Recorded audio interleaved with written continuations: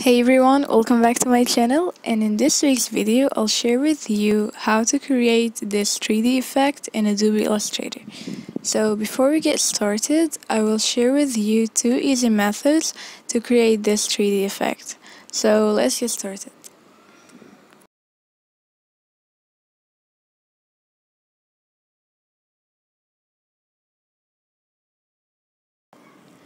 First, using the text tool, type the words that you'd like to create.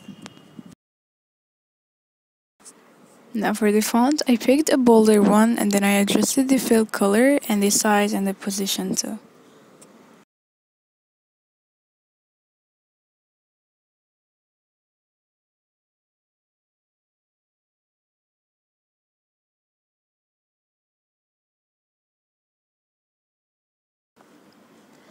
Now select the text, click on the Type tab, then select Create Outlines.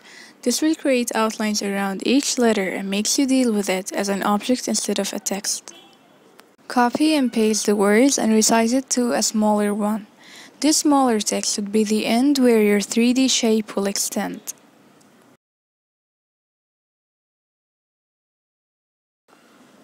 Now pick a different color for the text that will stay at the top. Then click on the smaller text, click Object, Arrange, then to Back. Now we'll copy then paste the smaller text.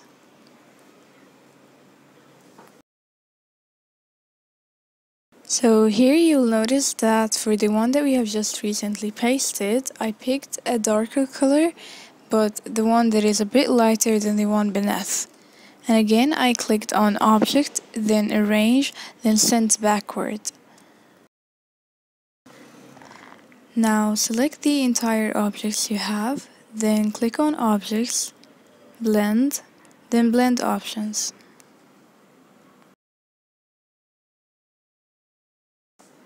Now adjust the number of steps you need based on your artboard size you're using, but here I set them at 150 steps. Now again select all your objects, then click on the Object tab, then Blend, then Make. This will finally create the 3D shape of the letters. Now the result looks more blended than you would want, so to fix this, we'll double click on the letters to get into the isolation mode and then copy the original letters, not the smaller ones at the back. Next, create a new layer and paste the letters, picking a lighter color just to make a distinction.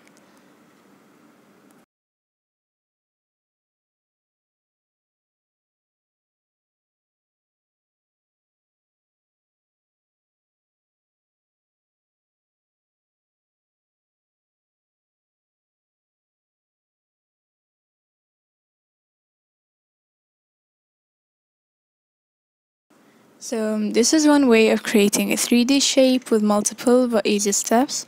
Now to create the same 3D shape with a single tool, let's head over to the second way.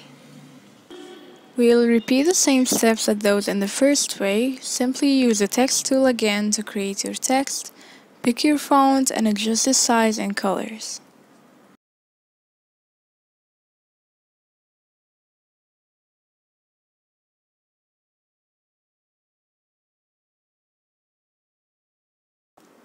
Now click on the Effect tab, select 3D, then select the first option Extrude and Bevel.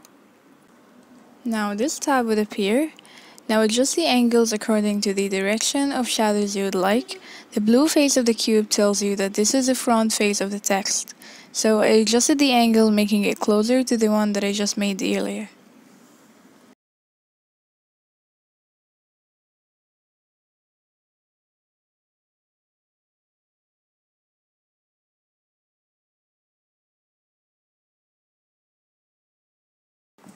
In the surface option, you will find other options too, such as diffuse shading, plastic shading, and the other two ones. But for this video, I'll just pick plastic shading and then I'll click OK. So yeah, that's it. This is how you get the basic 3D shape and you can proceed and make further adjustments to it, add some drop shadow or play with the highlights. That's it for today. If you liked this video, I'd really appreciate it if you subscribe to my channel and leave a thumbs up to see more of those videos. Thank you so much for watching.